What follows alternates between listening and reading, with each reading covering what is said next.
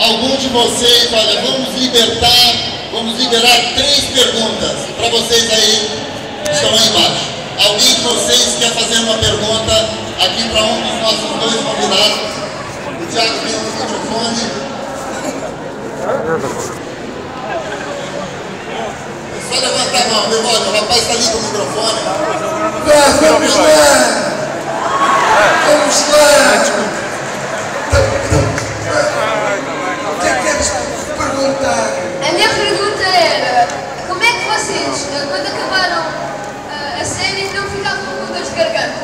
Ficava. E como é que tratavam eh, essa situação? Passava no dia seguinte. Bebe-se muita água. Quando se tem problemas de garganta, bebe-se muita água. Ajuda a passar.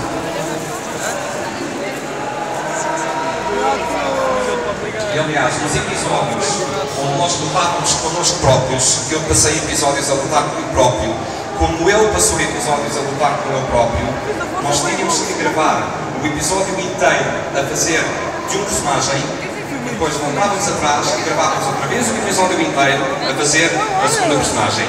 E aí caçava muito, principalmente na parte dos torneios. Lembram-se dos episódios dos torneios? Principalmente aí. Mais um. Ah, eu queria perguntar como é que foi trabalhar com o grande Tolói.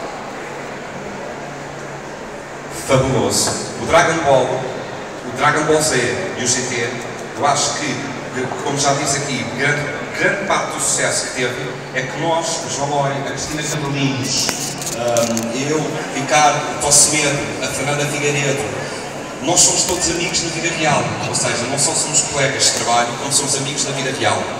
E toda essa cumplicidade que nós temos na vida real enquanto amigos, acho que é também uma das, uma das coisas que ajudava muito hum, a série, é que nós conhecemos a todos muito bem. E isso ajudava realmente muito. E só era possível fazer com esta equipe de pessoas, porque o João